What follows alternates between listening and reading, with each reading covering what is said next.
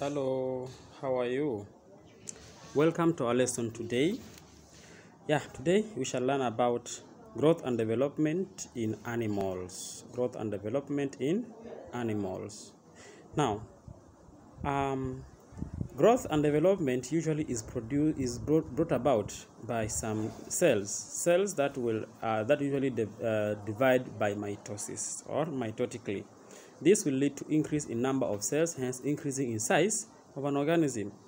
Now, the difference between growth and development in plants and that in animals is that the cells that grow or that divide mitotically in animals are not localized, meaning they are not found within a certain point only.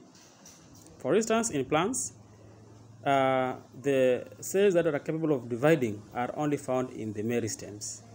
So, cells or cell division in animals is not localized to some regions as in plants. Also, in most animals, growth stop when they reach adulthood, while in some in some organisms, growth may continue throughout their life. Okay, so in case there is growth throughout the life of an animal, that type of growth is known as continuous growth. On the other hand, in arthropods, they show rapid growth immediately after molting, as we learned under intermittent um, growth curve. So in arthropods, they show rapid growth immediately after molting, um, followed by a long period in which growth is not observed. So this type of uh, growth is called discontinuous growth. So with, discontinuous growth is actually a type of growth where um, the growth is observed at some time, then stops for some time, and then continues to, uh, to grow after molting, and then it stops again that, like that. It repeats over and over again. While continuous growth is a situation where plants grows continuously throughout the life of the organism. Now, uh, most animals usually show sexual reproduction whereby male and female gametes fuse to form the zygote. Okay? However, in some insects, in some insects, they usually lay unfertilized eggs. So the eggs originate from one parent, unfertilized eggs, in which they hatch into adult. And this type of sexual reproduction is referred to as parthenogenesis. Parthenogenesis. So parthenogenesis refers to um, the production of offspring eh, without fertilization. Okay, good. Now, let us talk about uh, growth and development in insects. Now, here we have to talk about uh, metamorphosis. Metamorphosis. It's a very uh, good terminology which you should actually know. So, what is metamorphosis? You might have actually observed that uh, insects usually grow in stages. They may start with the egg, then the egg hatches to larva, then the larva develops into pupa, and then it forms an adult. So the change in form during which structural changes occur is what is what is what is known as metamorphosis. So metamorphosis, we have said, refers to um, the change in form during which there is changes in structure and function of the body of an organism throughout its life cycle is what is called metamorphosis. Now, what is the significance of metamorphosis? So, metamorphosis prepares organisms for life in different habitats. It prepares organisms in life for different habitats. So, it occurs in insects, crustaceans, uh, mollusks, um, and also amphibians. They all show um, metamorphosis. Okay. Now, we have two types of metamorphosis. We have complete metamorphosis and incomplete. So here uh, it is written complete and complete, but supposed to be complete and incomplete metamorphosis, as we shall see next. We shall begin with complete metamorphosis. Now, in complete metamorphosis, the organisms usually um, the organisms usually move through all the four stages of development That is, it moves through uh, the egg, through the egg, then to, to larva, then to pupa, and then finally to adult.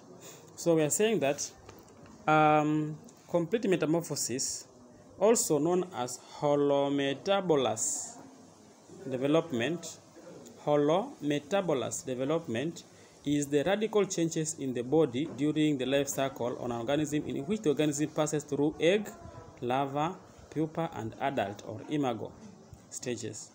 So we are saying that it is a type of development in which uh, the organisms move through egg, larva, pupa, and adult. Okay.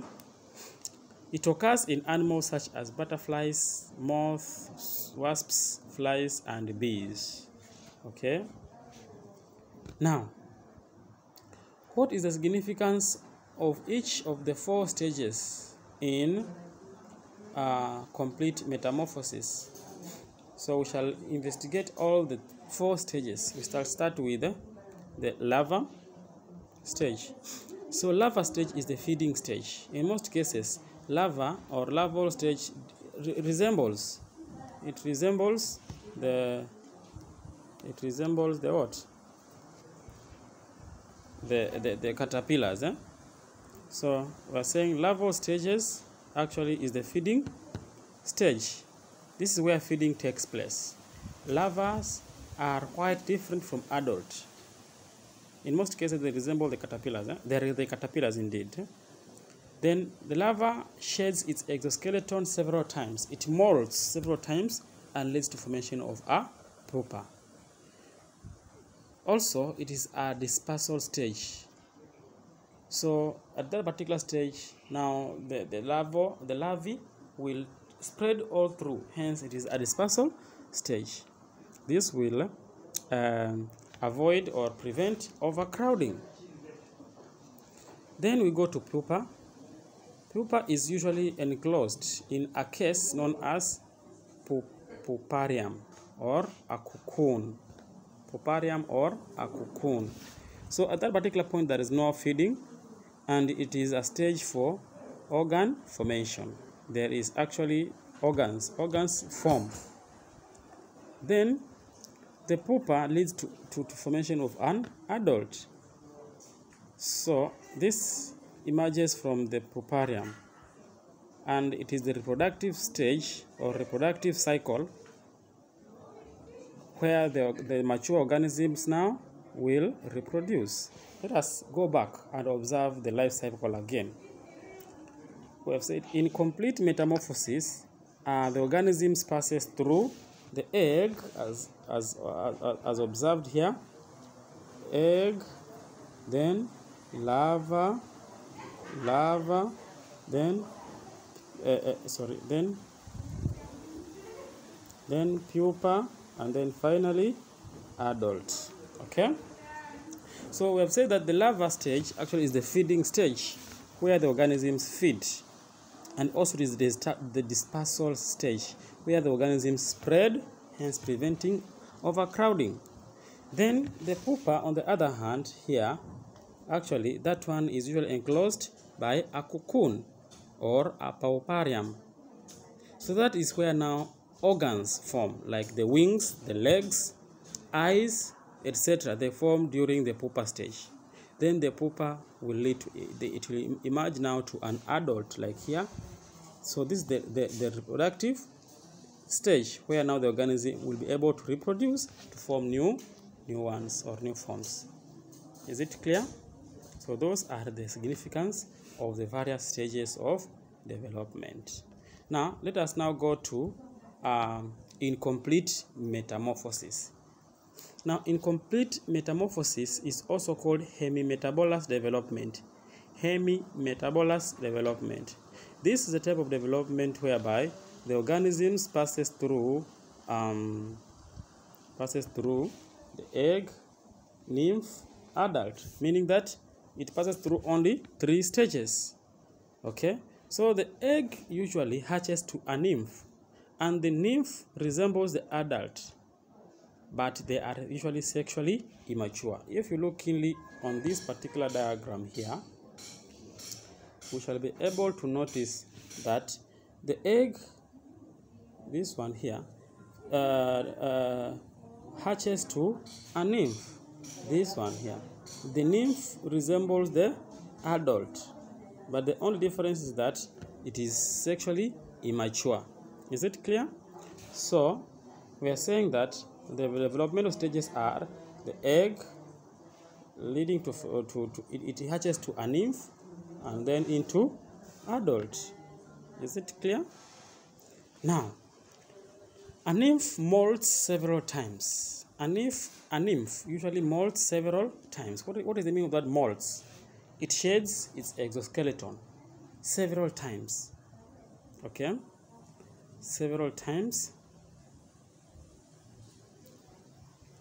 uh, before it becomes an adult. And and the stage of development between one molt and another like like if it molts now and then it molts after maybe two weeks that particular period between one molt and another is what is called an instar. Is what is called an instar. So it is uh, observable or most common in locusts and cockroaches. So hemimetabolous development or incomplete metamorphosis is very common in um, uh, cockroaches and locusts. Okay, thank you very much. Let us now uh, wrap up our discussion by discussing the advantages of metamorphosis in the life of an insect. Now, metamorphosis has got a number of advantages to this insect. One, the adult and the larvae exploit different niches. Therefore, we don't expect to have a, a competition whatsoever in, in, in the ecosystem. Number two, they do not compete for food. Number three, pupa. The pupa can survive adverse conditions. And lastly, it allow dispersal, hence preventing overcrowding. So far, so good. We shall stop there for today. God willing, we shall embark in our next uh, uh, discussion. Bye bye. See you.